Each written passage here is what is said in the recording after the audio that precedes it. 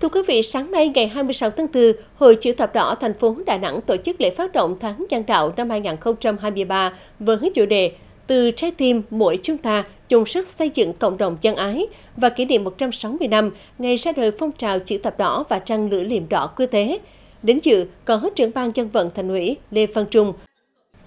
Tháng nhân đạo năm nay được gắn với phong trào Người tốt, việc thiện, dùng sức xây dựng cộng đồng chân ái, đạt chỉ tiêu 100% các cấp hội tổ chức chuỗi hoạt động thiết thực hướng về cộng đồng, phấn đấu thực hiện hỗ trợ ít nhất một địa chỉ nhân đạo hoặc triển khai một công trình phòng việc nhân đạo, vận động nguồn lực đạt 5 tỷ đồng để trợ giúp 15.000 người thuộc hộ nghèo, cận nghèo và hộ có hoàn cảnh khó khăn, các đối tượng khác cần trợ giúp. Phát biểu chỉ đạo tại buổi lễ, trưởng ban dân vận thành ủy Lê Văn Trung ghi nhận và biểu dương những kết quả đạt được sau 5 năm triển khai tháng nhân đạo và kêu gọi nhân dân các cấp ủy đảng, chính quyền, các ban ngành đoàn thể, lực lượng xã hội đồng hành cùng Hội chữ thập đỏ thành phố hưởng ứng tháng nhân đạo năm 2023, tạo nên phong trào thi đua, làm công tác nhân đạo rộng khắp, góp phần thúc đẩy thực hiện các chương trình, mục tiêu an sinh xã hội của thành phố.